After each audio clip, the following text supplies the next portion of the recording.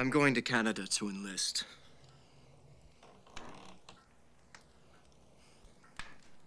I'm going with him.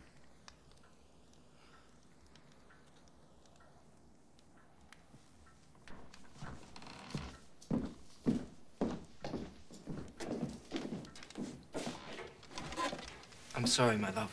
I meant to speak to you about it tonight. I know you'll understand. It, it's the only honorable thing to do.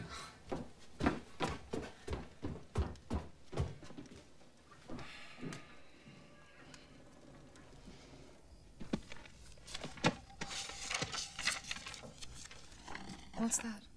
It's a book my father wrote.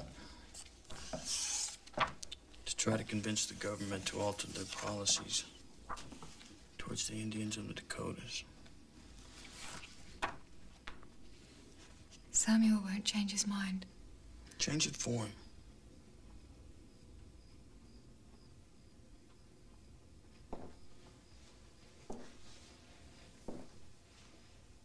What happened between Father says she never liked him here.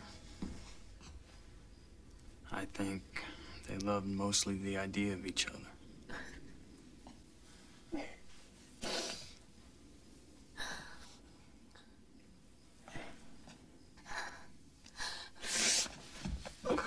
Please don't let him go.